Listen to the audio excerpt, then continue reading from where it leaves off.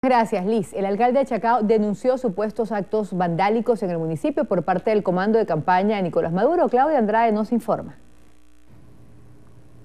Buenas tardes, así es, el alcalde de Chacao, Emilio Graterón, denuncia que grupos vinculados con la campaña electoral de Nicolás Maduro están actuando de forma irregular en el municipio, ya llevan tres noches consecutivas, ellos tienen videos y aseguran que están vinculados con la alcaldía Libertador y que no han podido actuar porque se trata de grupos oh, de más de 100 personas.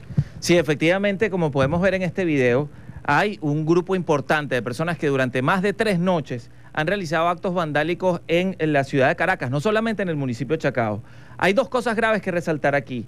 En el video se puede observar que ah, en los vehículos que se utilizan para eh, eh, la comisión de este tipo de hechos vandálicos son vehículos oficiales, con lo cual se está cometiendo el delito de peculado de uso. No solamente se está violando la ley electoral y se están violando todos los numerales del artículo 76 de la ley de procesos electorales, se eh, dañó la estructura por sexta vez consecutiva del obelisco de la Plaza Altamira, ya estando cerca de tener daños patrimoniales irreversibles. Se dañaron varios edificios de carácter patrimonial.